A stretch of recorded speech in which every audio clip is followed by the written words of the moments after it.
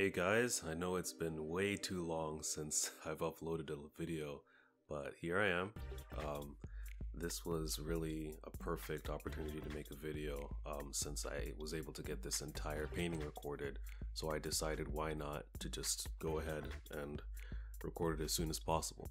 So yeah, here we are.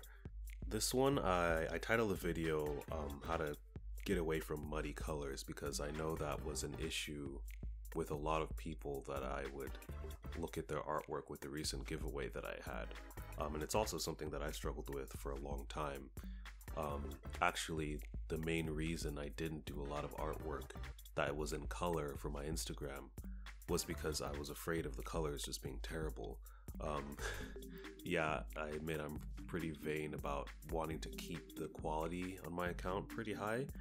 And so when the thought came to start doing more colored artworks, I didn't really want to do it because I knew I didn't have what it took to keep it to the same quality level that I wanted. What you're watching right now is a sketch before the color process um, that I did on Instagram. I posted it as a final line art beforehand.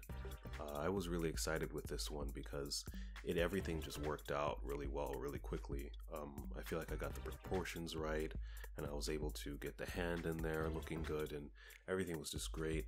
Um, it's I'm looking at a reference when I draw this. Um, it's a reference from a musician on Instagram. Uh, I think her name, her handle is Kate Kane. I'm not sure what her name is, but she liked the photo when I uploaded it, so I was pretty excited. Um, but yeah, I'm just working through the line art right now. I wanted to have a very thin line art for this one. I didn't know I was going to color it at the time, but I just felt like getting a very technical look on this one instead of going for a very um, kind of painterly, sketchy look. It wasn't something that I wanted to be super, I wanted it to be clean. Um, I wanted to work on my line work skills and all of that. So here you can see me, um, before I did the color, I just wanted to get a little bit of separation from her shirt. And then now I come back in to fix it up because I knew I wanted to kind of do a cel shading approach to begin. So I needed to close all the line work and erase the shading that I'd done. So here I'm just, I'm still prepping it for color. Just adding a little bit of flyaway hairs and cleaning up the line work because I knew I wanted to make very little changes to it later on. And then you can see the technique I do is basically I color in a zone and then I fill it in um, using the tool in Procreate to fill in colors. And it's really tricky because sometimes there's some white spots left, but it's hard to it's hard to find them. Some of you may notice that the, the color I chose for the face initially is like Oliver Ross draws um, characters, but that quickly changes.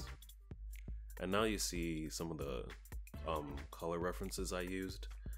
The color palette on the left is what I wanted the main feel for this piece to be. It ended up changing quite a bit, but uh, I think it was a great starter.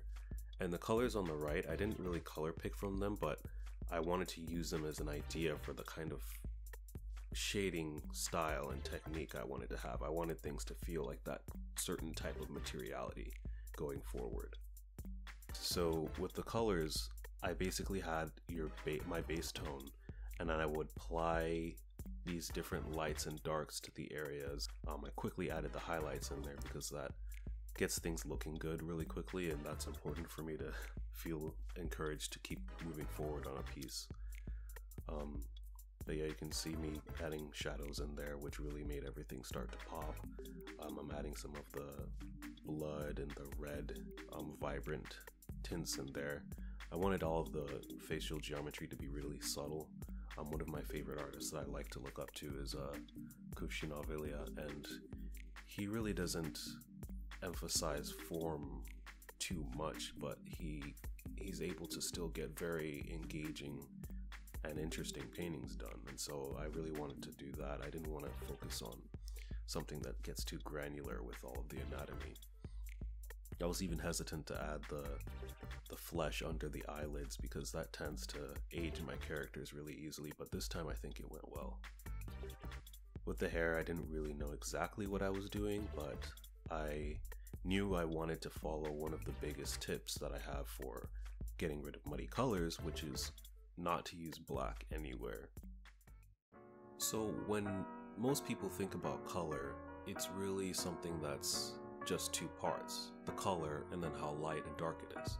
So what people will do is they'll grab a color and either they'll take an airbrush that's black and shade in the dark areas, or they'll take the same paintbrush that they use to add the color and they'll just move straight down the color um, grayscale, the color scale um, block, and they'll just add black to it. And if they want to make something lighter, they'll just move up closer to white and then they'll make it lighter like that.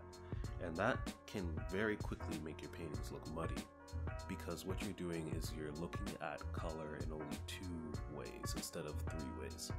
Color is three main components. So the first way to look at color is hue.